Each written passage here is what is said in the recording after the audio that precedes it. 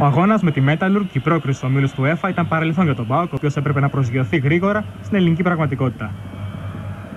Γι' αυτό φρόντισε η Λάρισα, αλλά και ο ήρωας της Πέμπτης Φερνάντες, που μόλις στο δεύτερο λεπτό μετατράπηκε σε μοιραίο παίκτη με το γύρισμα της μπάλας από τον Χασιώτη.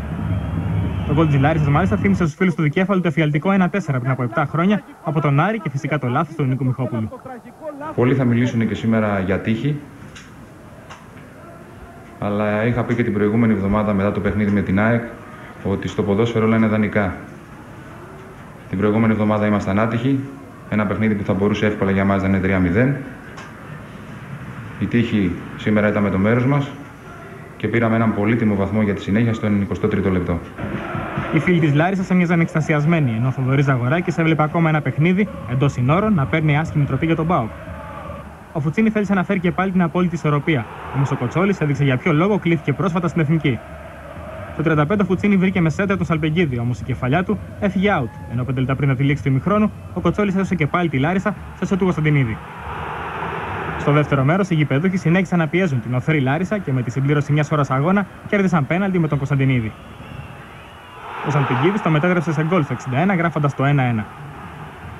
Η πίεση έγινε ακόμα πιο ασφιχτική για τους Θεσσαλούς και το δεύτερο γκολ δεν άργησε να έρθει για τον Μπάουκ.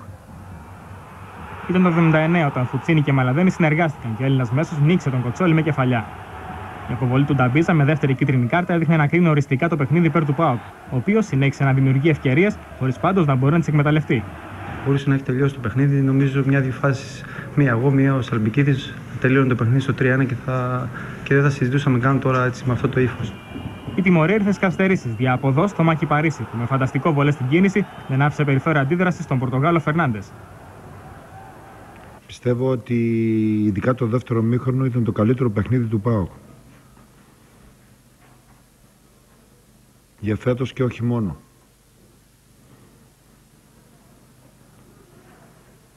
Ο αντίπαλός μας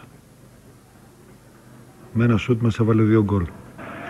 Αυτή όμως είναι και η άγρια μορφιά του ποδοσφαίρου. Η άγρια μορφιά του ποδοσφαίρου βεβαίως